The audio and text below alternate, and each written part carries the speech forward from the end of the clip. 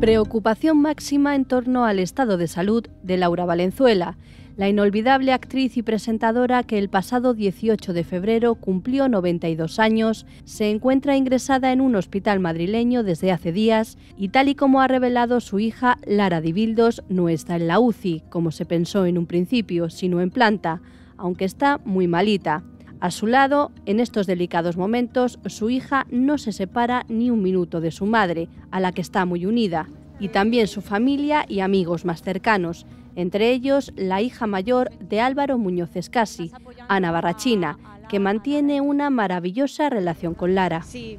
la verdad que la pobre está muy malita, está muy mayor ya. Sin entrar en detalles sobre el motivo exacto por el que está ingresada, Ana se ha limitado a confirmar que dará a Lara muchos ánimos de parte de todos los que quieren a su madre, incluidos los medios de comunicación con los que ambas han mantenido siempre una relación maravillosa.